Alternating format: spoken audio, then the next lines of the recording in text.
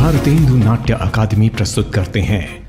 रंग समागम, मिलिए कला जगत की प्रख्यात विभूतियों से और जानिए उनकी कहानी, उन्हीं की जुबानी। नमस्कार।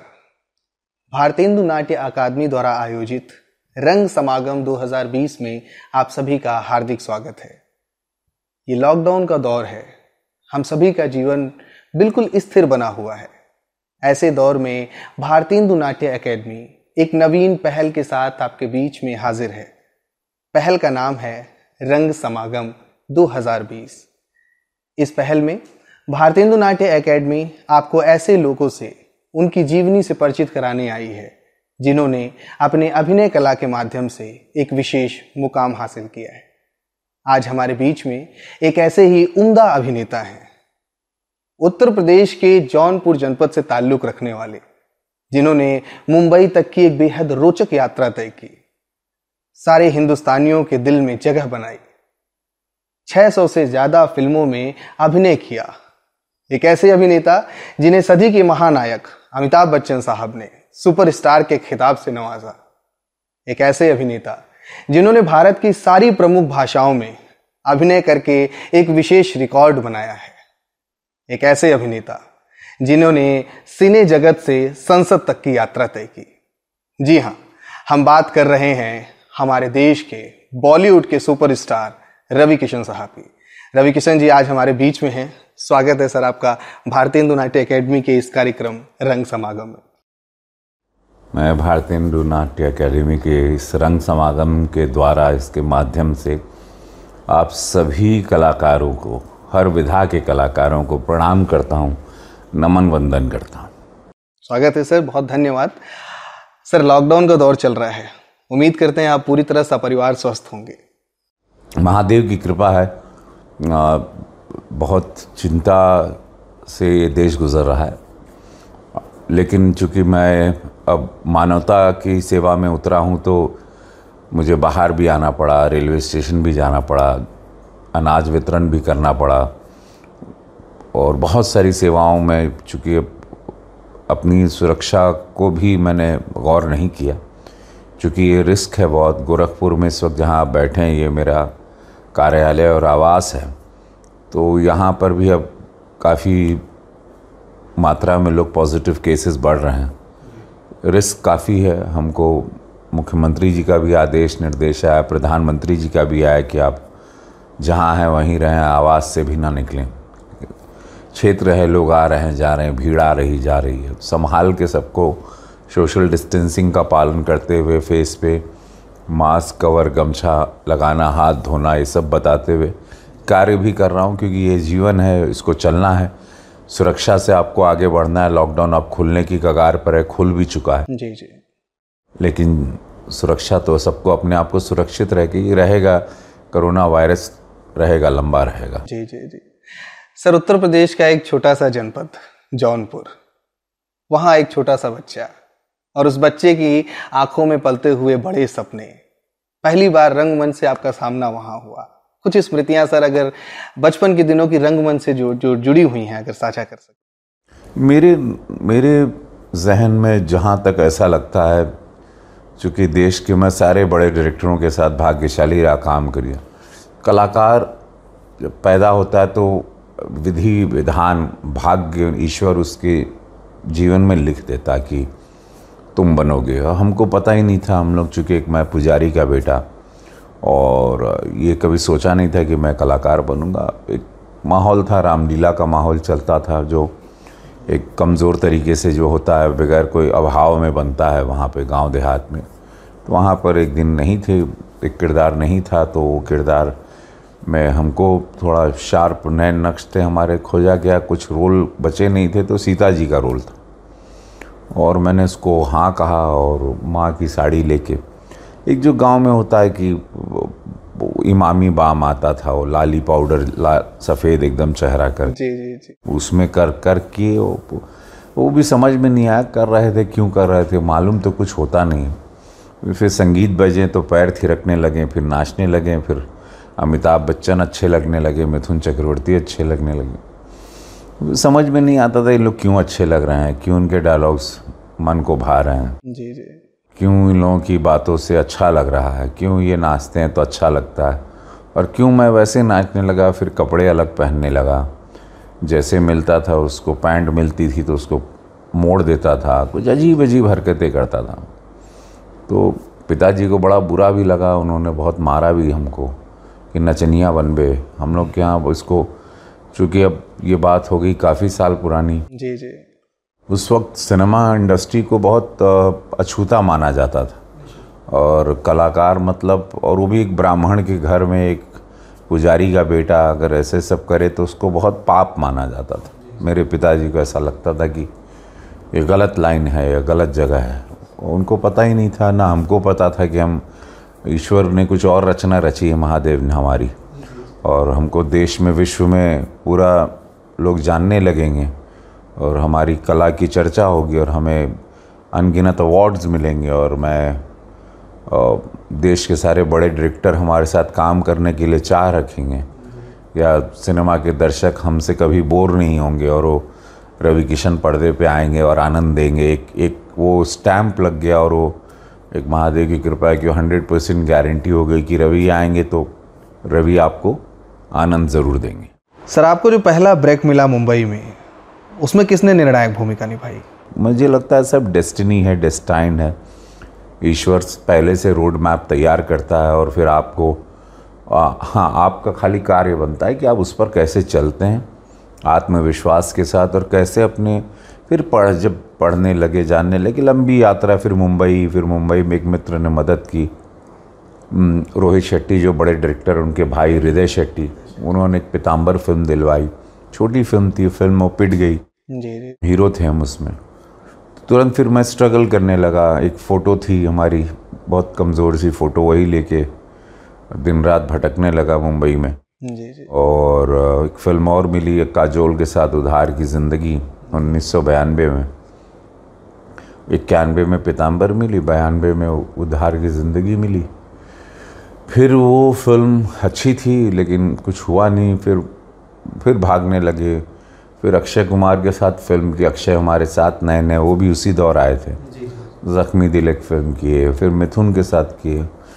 फिर चौरानवे में मिली श्रीदेवी शाहरुख खान के साथ आर्मी फ़िल्म। सर नसीर साहब से आपके बड़े अच्छे ताल्लुक़ हैं।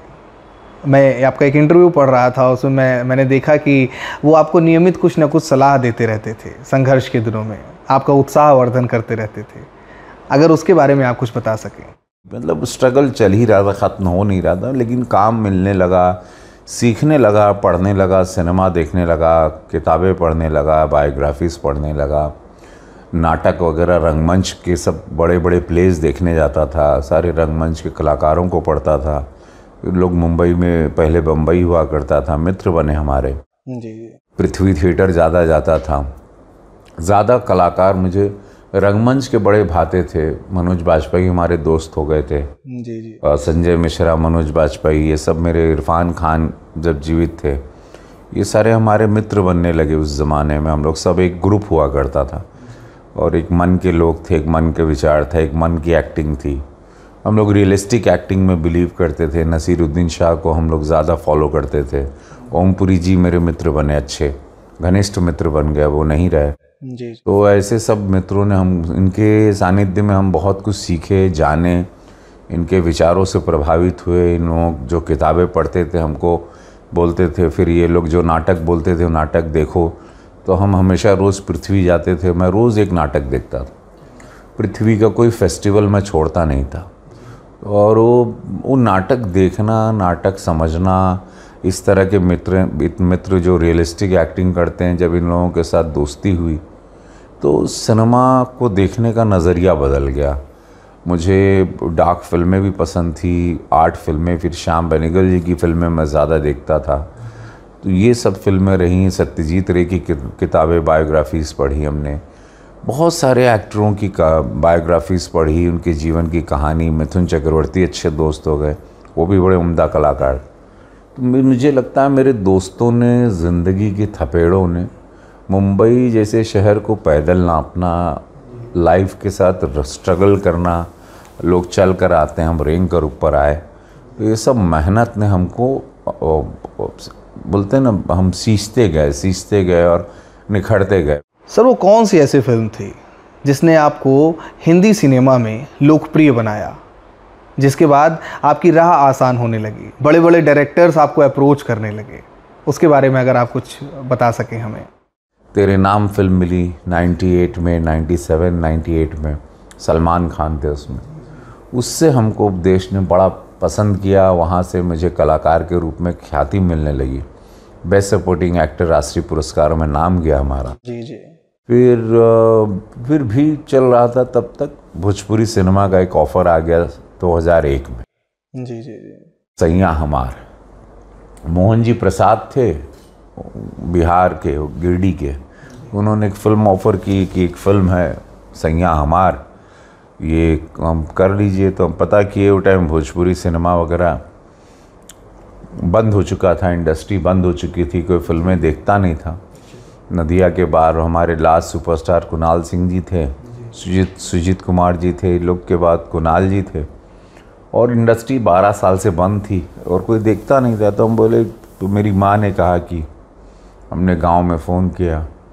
माँ को बोला, एक ऑफ़र है भोजपुरी का, वो लोग फ़िल्म दे रहे हैं, करना चाहिए एज अ हीरो तो ये ना हो कि ये फ़िल्म के बाद हिंदी में कोई काम ना दें।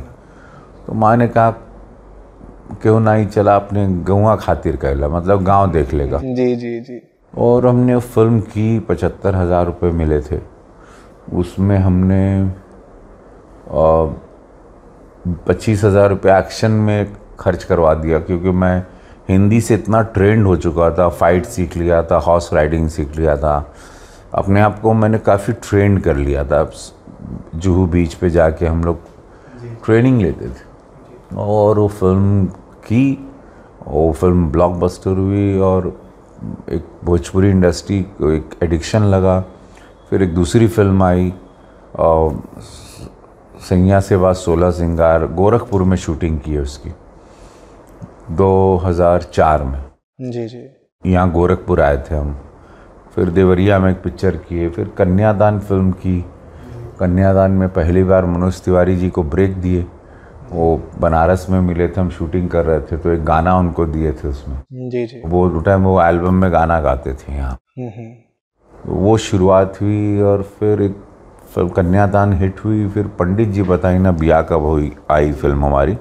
और पंडित जी बताई ना बिया कब हुई से एक सुपरस्टार का तमका हमको लगा। सर आपने एक फ़िल्म की थी मनोज वाजपेयी जी के साथ 1971 उस फ़िल्म के बारे में ऐसा कहा जाता है कि सिर्फ़ आपको छोड़ के लगभग सभी कलाकार एन थे।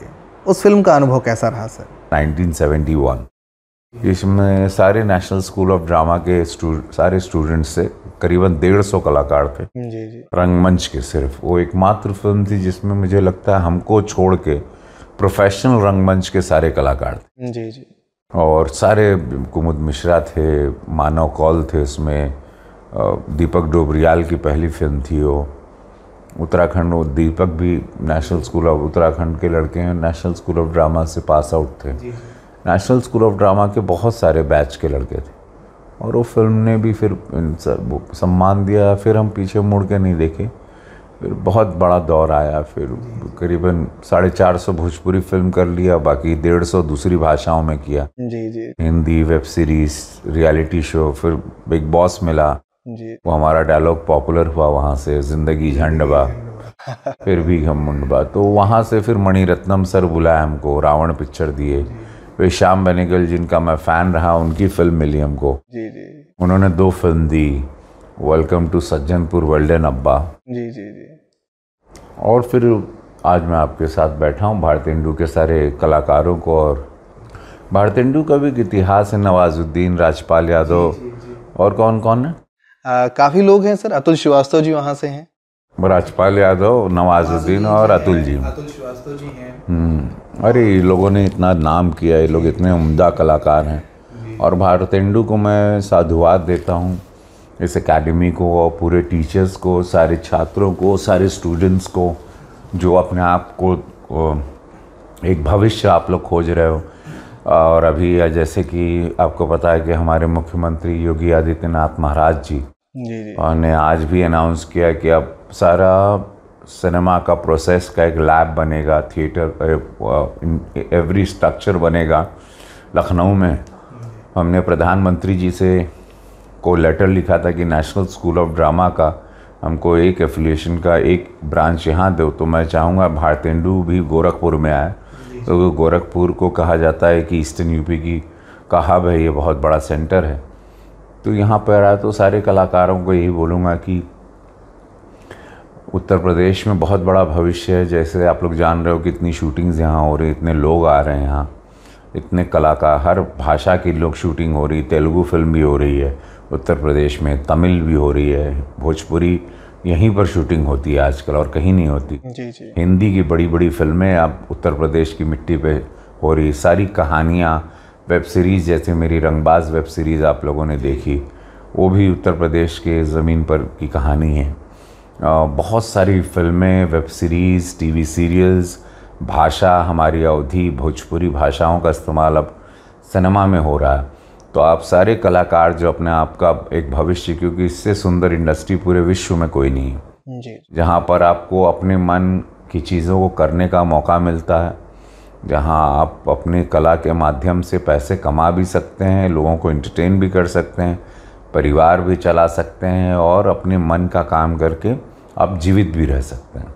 जब अपने मन का काम करते हैं, मन का काम होता है तो आप ज़िंदा रहते हो। नहीं तो आपकी जीवित मृत्यु होती जब आपके मन का काम नहीं होता तो आप विचलित रहते हैं और आप परेशान रहते हैं और आपकी साँसें रुक जाती हैं। तो आप सारे कलाकार जिन लोगों को मौका मिलता है बारतेंडू में जितने भी हैं जी जी कभी उम्मीद रंगमंच के दौरान फ्रस्ट्रेशन बहुत आता है। जो बेसिक प्रॉब्लम ये होता है लेकिन उससे हारना नहीं। देखिए वो आपके ट्रेनिंग का पीरियड है। दैट इज़ व्हाट उसको कहते हैं कि आप वो वो लर्निंग प्रोसेस है उसमें आप पैसे ढूंढेंगे। इनिशियली पैसे तो मिलते नहीं किसी को। हमको भी पंद्रह साल पैसे नहीं मिले थे। जी जी जी। हम भी बिगड़ पैसे के काम किए थे। तो जब पैसे के पीछे जो भागता है तो उसको पैसा कभी नहीं मिलता। फिर कला उसके बाद से चली जाती है, क्योंकि माँ सरस्वती माँ भगवती का वास होता है शरीर में। वो आदमी के अंदर जहाँ भी लालच या किसी महत्वाकांक्षी होता है, और उसमें रीज़न आउट तो फिर वहाँ पे वो, मुझे लगता है उसका कला भी कमज़ोर हो जाती है, और ज़्यादा फ्रस्ट्रेशन हो जाता है। और बहुत तो संभालना है आपको, बहुत ध्यान देना है, नशा पानी से बचना है, वो कुछ कुछ गलत गलत बातें भी लोग कहते हैं कि गांजा पी लो तो कलाकार लीन हो जाता है अच्छा परफॉर्म ये सब झूठी बातें, बकवास बातें। ये सब बेवकूफ़ी है, इससे कोई फोकस नहीं होता। फोकस होता आपका मेडिटेशन से, पूजा पाठ से, अपने स्वयं से बात करने से एक्टिंग के लिए आपको किसी दूसरे सहारे की ज़रूरत नहीं। एक्टिंग स्वयं में अगर आप बहुत पढ़ लेंगे, पढ़ाई की बहुत ज़रूरत है, कोशिश करना चाहिए, ज़्यादा किताबें पढ़ना चाहिए। कोशिश करना चाहिए कि सारे अपने सीनियर कलाकारों का काम देखना चाहिए कि अगर नसीर भाई ने किया, अमिताभ बच्चन ने किया, मिथुन ने किया, संजीव कुमार साहब ने किया, राज कपूर ने किया, गुरुदत्त साहब ने किया, बलराज साहनी जी एक नेशनल एक्टिंग के बहुत बड़ी स्कूल हैं, पुराने एक्टर हैं बलराज साहनी जी। और कोशिश करना चाहिए हम सब लोगों को रोज़ एक आध फ़िल्म देखना चाहिए, अगर कलाकार हो, इस विधा में हो, जिस भी विधा में हो आप भारतेंडु में जो जो विधा के अंदर हैं आप। संगीत में हैं तो वहाँ पर हैं, डांस में वहाँ पर हैं, क्लासिकल में वहाँ पर हैं, लिख रहे हैं, वहाँ पर एक पठा पठा कथा लिख रहे हैं उसमें। आपको पढ़ाई बहुत ज़रूरी है, ज्ञान बहुत ज़रूरी है। पढ़ने से बहुत विचार खुलते हैं, बातें करिए। जैसे नसीर भाई हमको बोलते थे कि रवि, बातें क्या करो? अगर कोई स्ट्रेंजर भी है, जहाज़ में बैठा है या जहाँ बैठा है कुछ बातें करने से कुछ न कुछ हर व्यक्ति आपको सिखाता ही है। जी जी। कॉन्वर्जेशन ऑन रहना चाहिए। कलाकार का कॉन्वर्जेशन ब्रेन ब्रशअप इसको कहते हैं। ब्रेन ब्रशअप होता रहता है। अपने आप को ऑन रखना है आँखें खोल के चलना है। और मेरी मे, मेरी ज़िंदगी में 600 फ़िल्मों में मैंने 600 डिफरेंट किरदार किए। जी जी। और मैं पूरे देश में मुझे प्यार मिल रहा है और मिलता रहेगा जब तक मैं चाहूँगा कि मुझे एक्टिंग करनी है मुझे मिलता रहेगा क्योंकि मेरे पास मेरे शरीर में इस वक्त एक हज़ार कलाकार रहते हैं एक हज़ार किरदार बसते हैं इस वक्त। जी जी।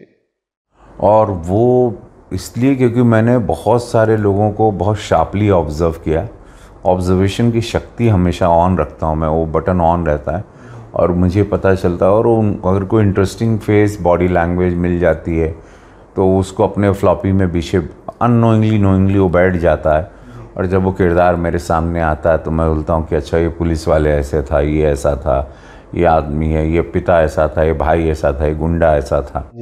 जो जो। किरदार मैं सोचता रहता था वो मेरे अपने आप सामने आ जाते थे और मैंने उसको परफॉर्म किया और देश ने प्यार किया और मुझे फिर पूरा सम्मान मिला और फिर मुझे एक सुपरस्टार का तमका मिला। एक अपनी भोजपुरी इंडस्ट्री लगाई। मेहनत किया उस इंडस्ट्री पे आज एक लाख लोगों का परिवार चलता है। मैं और ये बहुत बड़ी बात होती है कि कलाकार स्वार्थी नहीं हो सकता कलाकार को सबका सोचना है। अगल बगल में सबका सोचते हैं एक इंडस्ट्री का सोचते हैं लोगों का रोज़गार सोचते हैं। अपनी भाषा के लिए लड़ना जानते हैं। पार्लियामेंट में मैं आवाज़ भी उठाया भोजपुरी की जी जी। कि इसको आठवीं अनुसूची में ले जाओ। कलाकारों की मैंने आवाज़ उठाई। जी जी जी। जो कि आज तक कभी पार्लियामेंट में कलाकारों के मुद्दे को किसी ने उठाया नहीं था। अब मैं चूँकि सांसद बना हूँ लेकिन मेरी पहचान कलाकार की है और वो रहेगी। बिल्कुल कलाकार सांसद हमेशा लिखा जाएगा। सुपरस्टार सांसद हमेशा लिखा जाएगा। जी जी जी। आजीवन लिखा जाएगा। तो हमको ऐसा लगता है कि कलाकारों की लड़ाई, कलाकारों की बातें, कलाकारों की बहुत सारी परेशानियाँ, नाटक, रंगमंच की परेशानियाँ बहुत सारी हैं और उसको आवाज़ उठानी चाहिए। मोदी जी, हमारे प्रधानमंत्री जी ने उस बात को सुना भी, हमने उनको चिट्ठी भी दिखी, मैं खुद मिला भी इस बात पर, मैंने उनसे चर्चा भी की। मुख्यमंत्री जी से भी मैंने चर्चा की कि गोरखपुर में यहाँ पर हम लोग यहाँ पे फ़िल्म स्टूडियो लगाएँ, यहाँ रंगमंच को बढ़ावा दें। उन्होंने यहाँ पर रंगमंच के लिए कुछ प्लेटफॉर्म के लिए पैसे भी दिए वहाँ स्ट्रक्चर पे काम चल रहा है। कल परसों जाके हम चेक करेंगे उसको भी कि कितना काम बढ़ा है और कब से वहाँ पर हम लोग पहला नाटक कर सकते हैं। जी जी तो ये सब चीज़ें हैं और यही होना चाहिए। सर अभी जब लोगों को पता चला है कि रवि किशन जी आ रहे हैं इस सेशन में तो उनका एक प्रश्न है रंगमंच में अमूमन हम अलग अलग भाषाओं पे काम करते हैं अलग अलग शैली के नाटक होते हैं। आप देश के एकमात्र अभिनेता हैं जिन्होंने देश की जितनी भी प्रमुख और क्षेत्रीय भाषाएँ हैं, सब में काम किया है। ये समन्वय कैसे बैठाते हैं, सर? देखिए, मुझे जब काम, हीरो, सुपरस्टारडम से कभी कभी मैं बोर हो जाता था कि आना है, डांस करना है, विलन को मारना है, रोना है माँ बाप की कहानी है। मैं फिर बोर होने लगा। मैं बोला, यार, एक ही टाइप की चीज़ें कर रहा हूँ। मैं अपने आप को एक्सप्लोर करना चाहता था कि मेरे अंदर कितनी शक्ति है। मैं ट्राई करता हूँ कि अगर मेरी एक्टिंग अगर बिहार यूपी नॉर्थ में पसंद की जा रही तो साउथ में भी करनी। जब मुझे वहाँ पे साउथ में मौका मिला और मैंने पहली फ़िल्म की रेस गुर्रम अल्लू अर्जुन के साथ। जी। वो फ़िल्म बहुत बड़ी हिट हुई। वो वहाँ से अल्लू अर्जुन का मार्केट बहुत बड़ा हो गया। मेरी मेरा डिमांड साउथ इंडस्ट्री में बहुत बड़ा हो गया। जी जी जी। वहाँ पे हम मेन विलन करने लगे। वो लोग चूँकि पैसे भी अच्छे देने लगे ट्रीटमेंट भी और रोल बड़ा अलग अलग देते थे मुझे और अभी भी देते हैं। जी जी। हमेशा मुझे हर महीने एक दो साउथ की फ़िल्म का ऑफ़र आता है। रेड्डी में भी आपने किया? हाँ ढाई सौ करोड़ की फ़िल्म थी तो हमको दो तीन सौ करोड़ सौ करोड़ के बजट की फ़िल्म मिलती है जो बड़े बजट की होती है। तो उसमें हमेशा और मैं बड़ी चुनिंदा फ़िल्में करता हूँ वहाँ। मेरे मन की फ़िल्में मेरे टर्म पर करता हूँ मेरे कंडे उनको भी पता है मूडी आदमी है। जी। तो उस हिसाब से वहाँ पर हम काम करते हैं और मुझे ऐसा लगा था कि मुझे यहाँ पर मेरा क्रेज़ है तो भगवान से ही मनाता था कि मुझे शक्ति दो कि मैं वहाँ पे भी उतना मैडनेस क्रिएट कर दूँ मेरा।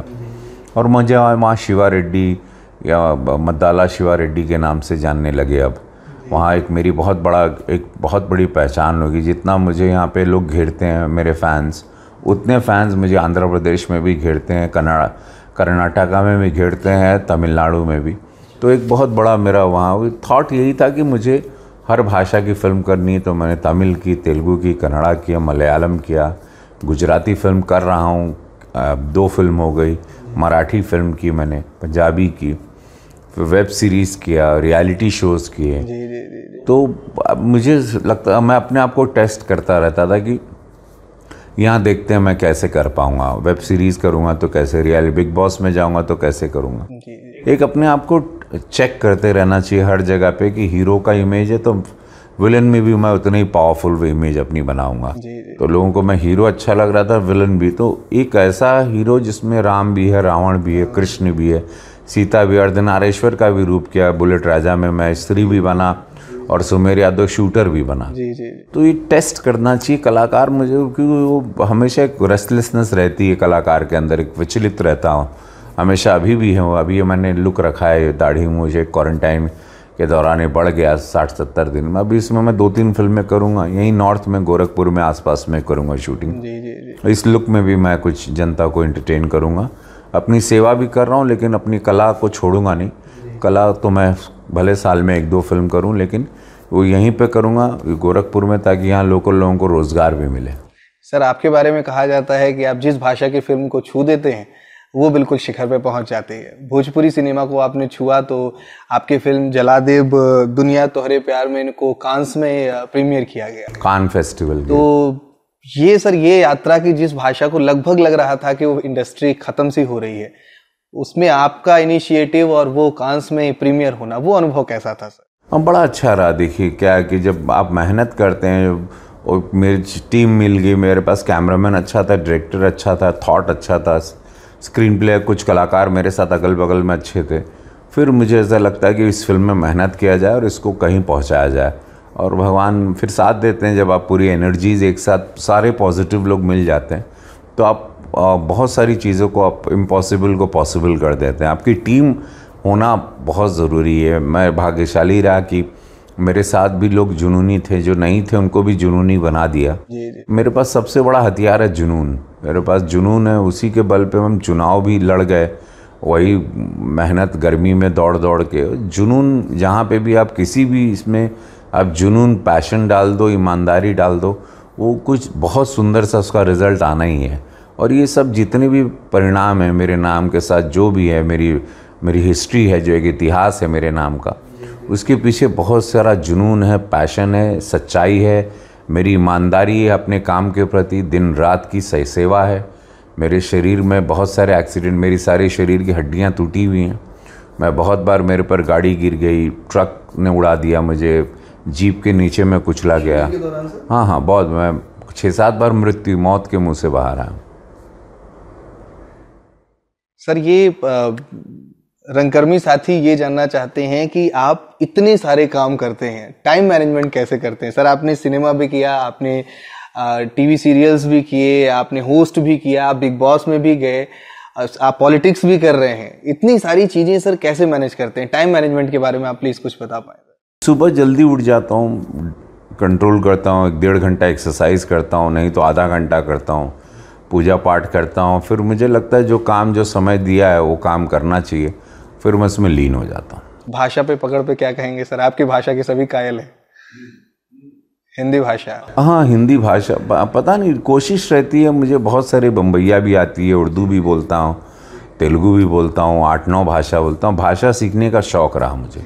भोजपुरी बोलता हूँ बहुत सारी भाषाएँ जानता हूँ मैं। और भाषा जो नहीं भी बोल पाता समझता सब भाषाओं को। फ्रेंच अभी पढ़ने की कोशिश कर रहा हूँ पर्शियन लैंग्वेज फारसी पढ़ने की कोशिश कर रहा हूँ। कुछ कुछ शब्दों को उठा रहा हूँ। जी जी निरंतर आपको अपने ब्रेन को काम देते रहना चाहिए क्योंकि जब जैसे उम्र होने लगती है जैसे आप बड़े होने लगते हैं तो आपके ब्रेन का इस्तेमाल होता रहता है तो उसको आपको जॉब देते रहना है। ब्रेन को हमेशा कुछ ना कुछ आपको निरंतर ऑन रखना है नहीं तो क्या उस वो वो शांत होने लगता है। तो आपको अपने आप को जीवित रखना है अपने सारे इंस्ट्रूमेंट शरीर के जो जो हैं उसको आपको हमेशा अलाइव रखना है। तो आपको स्वयं को बहुत सारे एनर्जीज देना होगा, स्वयंभू बनना पड़ता है, स्वयं को जलाना पड़ता है आपको आपको कोई जलाएगा नहीं, ना बगल का कलाकार, ना कोई दोस्त, ना साथी, ना परिवार, आपको स्वयं को जलाना होगा और स्वयंभू बनना होगा तो ही आप एक नाम करेंगे और यही सोच के करना है कि जिस दिन आपकी, जिस दिन आपने सोच लिया कि मेरी जिस दिन मृत्यु होगी और उस दिन देश या बगल मेरा ज़िला या मेरा नेबर या मेरी लेन या गली जहाँ रहता हूँ या मेरा मोहल्ला नहीं जाना तो फिर बहुत बेकार हो जाता है। आपकी मृत, जिस दिन आपने सोच लिया कि मेरी मृत्यु होगी और लोग जान गए कि आज मेरी मृत्यु होगी तो आपका धरती पे आना सार्थक होता। वो जनवाने की लड़ाई हर कलाकार को करनी कि ऐसा कुछ बने कि मेरे बारे में लिखा जाए कि आज ये नहीं रहे। निश्चित तौर पे सर। सर आप जब भी लखनऊ आते हैं भारतीय नाट्य अकादमी ज़रूर आते हैं अपना समय देते हैं। एक नई पीढ़ी जो तैयार हो रही है सर अभिनेताओं की उनको लगातार आपका समर्थन मिलता है। आपने आपकी जो यात्रा रही है वो आप साझा करते हैं उनसे। जो नई खेप निकल रही है सर उनके लिए कोई संदेश आप देना चाहें क्योंकि वो भी मुंबई की ओर शायद अग्रसित हों। मैं ये कहूँगा मुंबई तो नहीं आइए आप लोग सब लोगों को बोलूँगा लखनऊ में रहिए क्योंकि लखनऊ में आने वाला समय बहुत अच्छा उत्तर प्रदेश में हो रहा है। और बहुत बहुत होगा दिल्ली जाइए रंगमंच करिए। सारे मुंबई वाले तो अभी लखनऊ आ रहे हैं। आप लोग मुंबई जाने का सपना छोड़ दें। मुंबई में दस लाख स्ट्रगलर हैं। बहुत खर्चा होता है रेंट किराया मुंबई बहुत महँगा शहर है। और विश्व के महँगे शहरों में मुंबई का बहुत बड़ा नाम है। तो वो बड़ा अननेसेसरी परिवार को भी आप टॉर्चर करोगे स्वयं को भी करोगे। कोशिश करो कि जहाँ रहो अपने आप को इतना इधर मांझ दो कि सारे लोग आपको आके लेके जाएँ आप वहाँ ना जाएँ। तो मैं तो राय दूँगा कि आप जहाँ हैं आप वहाँ पे ही भारतेंदु इतनी इतना अच्छा मंच है इतनी अच्छी छत मिली है। आप लोग इतने भाग्यशाली हैं अगर आप उससे जुड़ गए आपको वहाँ एडमिशन मिल गया तो आप अपने आप को झोंक के वहीं तराशें लेकिन रोज़ रात को पढ़ाई करें आप रोज़ मतलब फालतू समय ज़ाया ना करें। दोस्ती यारी घूमना फिरना ये दस पंद्रह दिन में, महीने में एक बार हो, ये सब बेकार टाइम वेस्ट है। स्टूपिडिटी है। मोस्टली पढ़ो, अगर दोस्त के साथ भी बैठे हो तो सिनेमा की बात करो, कलाकारों की बात करो, रंगमंच की बात करो टाइम वेस्ट मत करो, कसरत करो एक्सरसाइज करो, शरीर पे ध्यान दो, योग करो एक्रोबाइट्स करो डांस करो बहुत ये विधा में बहुत सारे गुण हैं, हर जगह पे अपने आप को ट्रेन करो। फालतूगिरी नहीं करना कि दोस्ती यारी भटक रहे हो फालतू ये सब स्टूपिडिटी है सब नहीं करना। सर आपके एक वर्ष के छोटे से कार्यकाल में आपने संसद में इतने सारे प्रश्न सर कलाकारों के लिए उठाए हैं। हम उम्मीद करें सर बहुत जल्दी हब बनने वाला है गोरखपुर उत्तर प्रदेश लखनऊ। जी जी बहुत जल्दी होगा और मैं भारतेंदु के सभी कलाकारों को प्रणाम करता हूँ। हर हर महादेव आप लोग बहुत आगे बढ़ें और ये इंटरव्यू मैं जल्दी देता नहीं अपने बारे में बताता नहीं लेकिन भारतेंदु ये चूँकि छात्र हैं और आ, सब कुछ अच्छा होगा। आप लोग बहुत बढ़िया से आगे बढ़ें। अपने प्रदेश का नाम करें। आप लोग उत्तर प्रदेश का मुख्यमंत्री का नाम होगा हमारा नाम होगा। अगर आप लोग बढ़ते हैं कि भाई देखो आपके उत्तर प्रदेश के कलाकार हैं तो मैं चाहूँगा कि आप सब लोग छोटे मध्यम वर्गीय परिवार से होंगे। ऑफ़िस के माँ बाप आपके ऑफ़िस में सरकारी काम करते होंगे जो भी है आप लोग छोटे बड़े जैसे भी हैं अपने समय का वेस्ट ना करें। माँ बाप के पैसों का वेस्ट ना करें। अपनी ज़िंदगी की, को बहुत इम्पोर्टेंट दें। ज़रूरी नहीं कि हर, अभी तो आप देख रहे हैं नवाजुद्दीन छोटे से ही हैं, राजपाल छोटे से हैं, इतना नाम कर दिए। तो कोई मेरे भी, मैं भी कोई ग्रीक गॉड नहीं हूँ, मैं भी ऑर्डनरी सा दिखने वाला आदमी हूँ, लेकिन मुझे पूरा विश्व जानता है। तो ऐसा कोई लुक्स भी मैटर नहीं करता। फिटनेस ज़रूरी है। ब्रेन में पॉजिटिविटी बस ज़रूरी है कलाकार के लिए। स्वयं पे विश्वास, अपना एक स्वाभिमान ज़रूरी है। तभी हम कहते हैं कि वो ज़िंदगी झंड बा फिर भी घमंड बा इसीलिए बोले थे कि जिसके मतलब पैसे कुछ नहीं है, लेकिन अपने आप का एक एटीट्यूड ऑन रखिए। अपना एटीट्यूड ऑन रखिएगा और अब नो लुकिंग बैक और आप लोग बहुत आगे बढ़ेंगे क्योंकि आपके पास इतनी अच्छी स्कूल है। इसको भारतेंदु नाट अकेडमी कहते हैं और बहुत भाग्यशाली हैं आप लोग। Don't miss this opportunity go ahead फिर आप लोग, आपके जीवन में और जहाँ कहीं मदद होगी तो हम तो हैं ही आप लोगों के लिए। सर भारतेंदु नाट्य अकादमी के निदेशक श्री रमेश चंद गुप्ता जी के इस आमंत्रण को स्वीकार करके आपने रंग समागम कार्यक्रम की गरिमा बढ़ाई है। बहुत बहुत धन्यवाद। Thank you so much sir Rang Samagam में अपना बहुमूल्य समय देने के लिए बहुत बहुत धन्यवाद। Thank you thank you